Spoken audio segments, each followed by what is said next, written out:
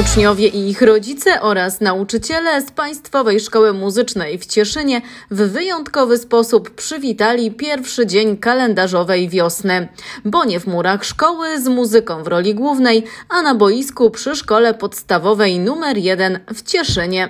Po trzech latach e, pandemii, braku aktywności fizycznej, braku aktywności estradowej, postanowiliśmy nadrobić straty i zorganizować mecz piłkarski, turniej, którym e, walczyć będą ze sobą uczniowie, rodzice i zaproszeni goście z tajemniczej CD Team, czyli młodzież z Cieszyna i Dzięgielowa pod dyrekcją, pod kierownictwem pani dyrektor Habarty. Każda drużyna liczyła siedmiu zawodników na boisku i pięciu rezerwowych.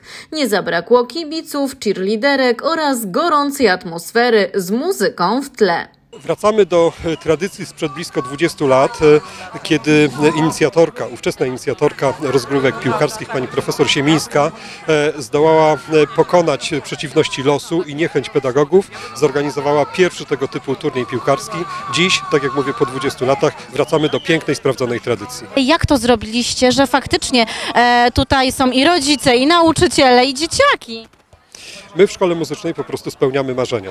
Wystarczyło rzucić hasło, znaleźli się entuzjaści, którzy załatwili już całą resztę.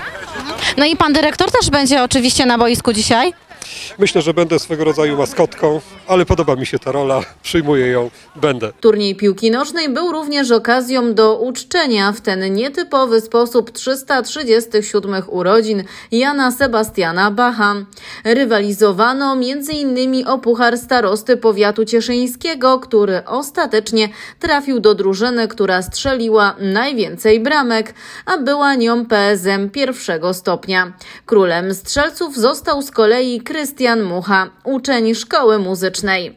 Dla portalu Śląska Cieszyńskiego XPL Marta Szymik-Telesz.